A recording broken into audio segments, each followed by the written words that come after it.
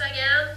And I'm now I'm going to show you how to turn this uh, homemade bitless bridle into three kinds of other bitless bridles. I just made a tutorial on how to make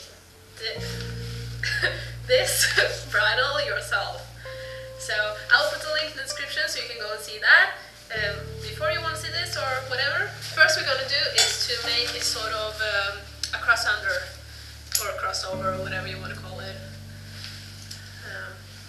Bridle, um, I have this, you can probably use any kind of rope or whatever you want to use, just make sure it is soft so it will uh, sort of wrap around the rings quite easily. I'm Just gonna put it over here, low Over with the neckband or whatever it's called. And then we're gonna take this. Best to have it inside of this. Um,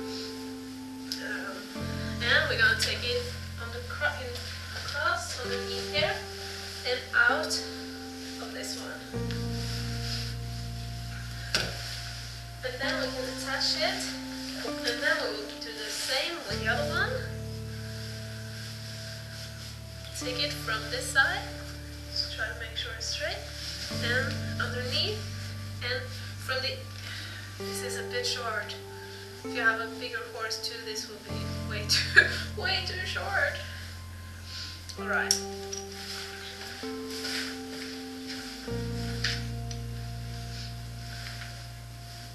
But try to make sure that it lies proper.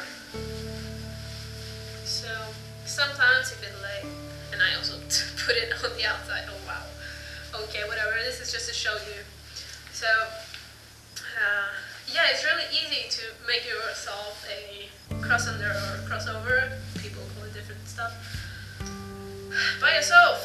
So yeah, this would work quite well, I'd say. Probably easier to show you here. So when you pull here, it will be like a pressure on the side here. They call it the whole head hug. And now we're gonna try to make something that looks sort of like an Indian bosal. I don't really know how to pronounce that word, bosal, but that's closely to what we call it here in Norway. And it also uh, can look a little bit like the Meroth uh, or something. I don't really know how to pronounce that either. But Meroth maybe It's actually a strap to use for spurs. I think is that Jesus, I can't pronounce anything right now. Alright, we'll call it spurs. So and you will just attach a ring to that. Loki, is this so boring? And put it through this ring. And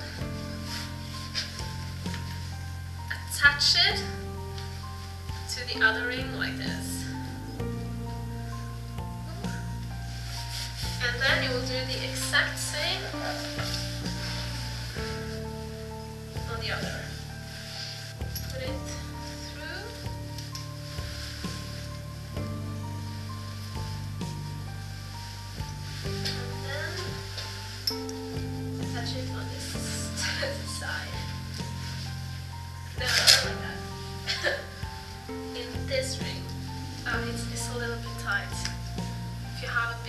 Horse or uh, his fur coat is doing a lot to this.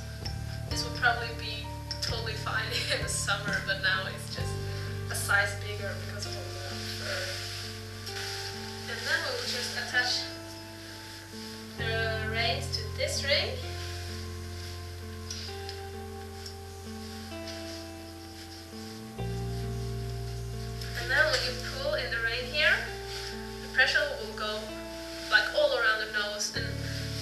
Little bit more stable too than just the side pull.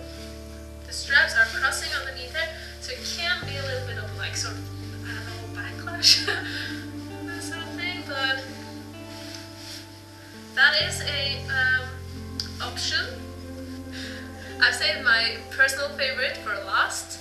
This is just um, a uh, very soft fabric that is a,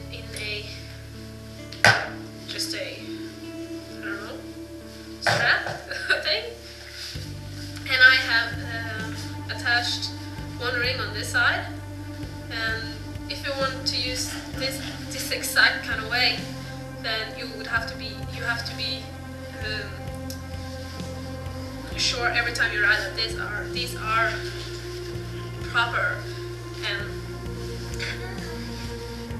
um, yeah because I I imagine that this would easily get destroyed or worn out so that is just a little disclaimer and I just put on a curb chain protector to make the surface here a bit bigger than this. Just a bit bigger. Okay.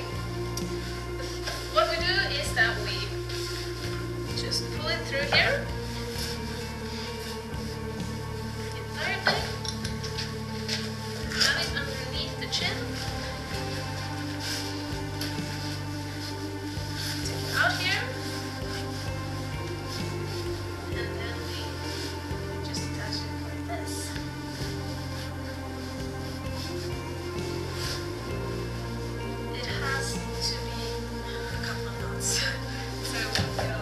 tried this the very first time, I had two knots and it just slipped open.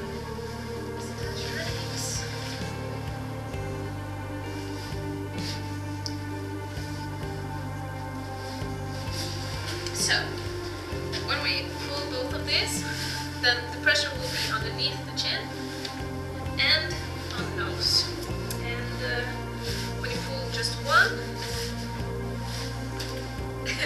It will pull very nicely and not pull it around too much. Alright, that's why it's my favorite. I'm gonna make another video on uh, different kinds of bitless bridles and what are the pros and cons, in my opinion, with each one of them. So stay tuned for that if you want to learn more about bitless bridles. Thanks, thank you so much for watching. Loki, Loki also says thank you. and I will see you soon. Bye.